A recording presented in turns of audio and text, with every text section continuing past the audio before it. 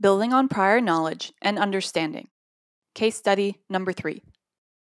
As an instructor, you play a critical role in drawing out knowledge practices and conceptual understanding about research that students already possess as they enter your course.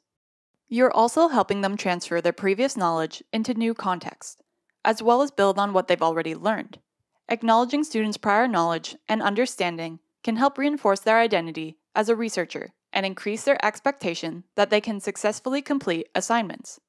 Key factors that can impact students' prior knowledge and understanding of research and information literacy practices. Previous academic experience. For example, students entering your institution from other school systems that lack exposure to academic resources and experiences due to a lack of school funding, a lack of parental support, or difficult life circumstances have extra challenges as they try to catch up to those with more recent or robust experiences. Groups that might be disproportionately negatively affected include first generation students, students from underprivileged school boards, for example, northern indigenous communities, rural communities, racialized communities, and mature students. Cultural context. For example, Students from other cultural contexts may have extra challenges as they try to make sense of how information is organized and valued within another culture. In some cases, they may be unlearning what they had previously learned in order to meet the assignment expectations. Groups that might be disproportionately negatively affected include international and indigenous students. Familiarity with disciplinary and academic language.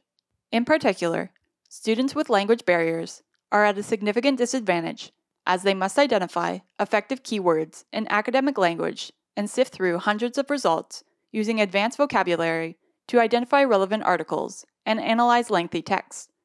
Some of these tasks can be challenging, even for students with advanced English language proficiency. Case study Monisha. While her program hasn't been research intensive, the course reading from her first semester has helped Monisha feel more comfortable with discourse from the field.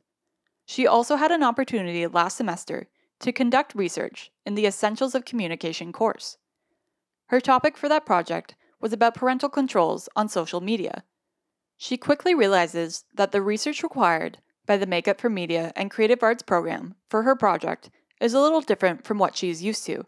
She's not sure what types of sources would be considered authoritative in this case, or where she could find them.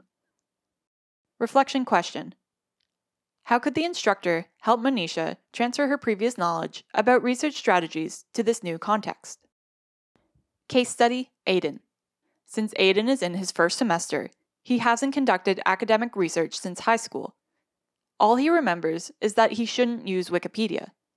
While he spends a fair amount of time looking up information on Google and Copilot, Microsoft's AI tool, the assignment for the Innovation Shaping the Modern World course explicitly states that these tools are not permitted. Instead, he must use only library resources. But after an initial search of the library, he feels lost and confused. Reflection question How could the instructor help Aydin build on his existing knowledge about conducting research and how to apply it to this new context?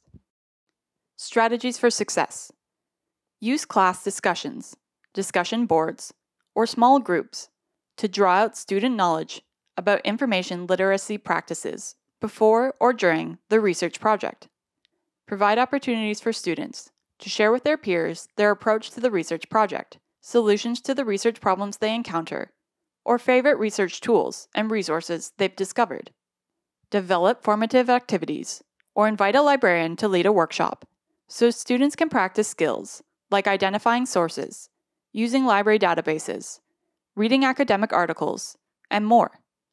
For more information, check out our section on teaching troublesome tasks.